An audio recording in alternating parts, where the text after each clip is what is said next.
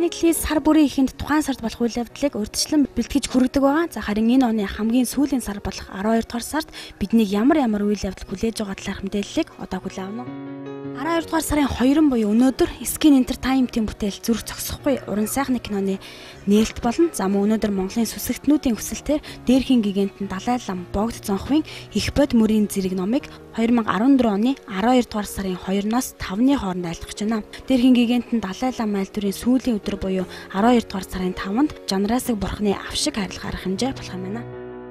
12 дугаар сарын 3-нд хөгжлийн бэрхшээлтэй иргэдийн эрхийг хамгаалах олон улсын өдөр тохион. За энэ өдөрт зориулж олон үйл явдал маргааш болох бөгөөд манай мэдээний албаны зүгээс цогц мэдээллийг бэлтгэх өргөх болно. За мөн энэ өдөр замын цагдаагийн газраас ард иргэдэд сэрэмжлүүлэг мэдээх хүргэхээр төлөвлөсөн байна. Энэ сарын гол онцлог бол монголчуудын өргөн дэлгэр тэмдэглэдэг шинэ жилийн баяр болдог. Иймээс албан байгууллагуудыг шинэ жилийн баяраа тэмдэглэхдээ архигүйгээр эсвэл баяраа тараад нэгдсэн журмаар унаагаар хүргэж өгдөг байх хэрэгтэй гэсэн уриалгыг замын цагдаагийн газраас гаргаж байна.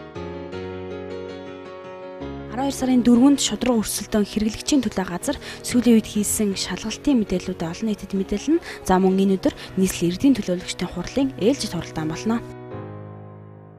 12 сарын 5-нд энэ оны сүүлчийн Японы их дуулга 12 дугаар сарын 5-наас 7-ны өдрүүдэд зохион байгуулагдана. Тэмцээнд дэлхийн 72 орны баг тамирчид оролцоолно. Монгол улсаас Хөдөлмөрийн Баатар Төвшинбаяр, Цагаанбаатар, Монгол улсын Гавьяа тамирчин Болдбаатар, Нэм очир, Төмөр хөлөг нарын шилдэгүүдээр ахлуулсан шилдэг 20 жуудаач оролцохоор мэдүүлгээ өгöd байна.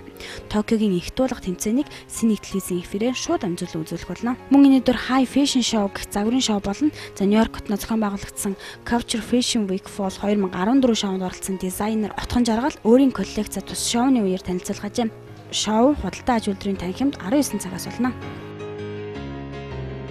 12 дугаар сарын 6-нд буюу Бямб болон Нэм гарагт Women Expo 2014 Michelle Expo болно. 12 дугаар сарын 9-нд олон улсын авилгын эсрэг өдрийг тохиолдуулан авилгатай тэмцэх газрын дэргэдэх олон нийтийн зөвлөл, авилгын эсрэг түншлэлийн сүлжээ хамтран авилгатай тэмцэх газрын удирдлага бизнес эрхлэгчтэй нүүр тулсан уулзалтыг зохион байгуулна. 12 дугаар сарын 10-нд Улсын драмын Эрдмийн театр соёл урлагийн их сургуультай хамтран Ахмад уран бүтээлчдийн алдрыг хүндэтгэж бүтээж төрөх арга ухааныг нь хойч үдэ уламжлан үлдээх зорилгоор бид мартахгүй дурсамж хүндэтгэлийн арга хэмжээг зохион байгуулна. Монголын кино жүжигчин анхудаа Холливуудын хэмжээний кинонд дүр бүтээсэн. За тэгвэл Марко Поло хэмээх тус кино энэ сарын 12-наас үзэгчдийн хүртэл болж эхэлнэ. За мөн энэ өдөр Гайлийн хууль тогтоомж зөрчсөний улмаас хураагдаж улсын орлого болсон автомашинуудыг цагдаагийн автобазын зүүн талд байрлах Гайлийн ерөнхий газрын агуулгад сонирхогчдод үзүүлэх арга хэмжээ олно. 12 дугаар сарын 18-нд Next Stop 2014 оны залуу шалгаруулах харшийн наадам болно. 12 дугаар сарын 24-нээс 28-ны өдрүүдэд нийслэлийн засаг даргын дэмжлэгтэйгээр Монголын балетын хөгжлийн сан дэлхийн 5 твийн улсад зэрэг тоглогддог цөмөөхө балетыг улсын дүр бүжиг эрдмийн театрт тоглох болно.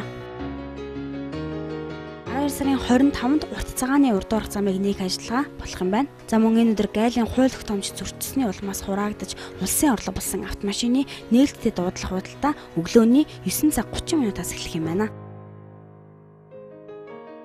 12 дугаар сарын 29-ний энэ өдөр бол за Монгол улс үндэсний эрхчлөө тусгаар тогтнолоос сэргээсний ойн баяр тохиож байгаа өдөр юм. За энэ өдөртэй холбоотой арга хэмжээ мөн зохион байгуулагдах юм байна.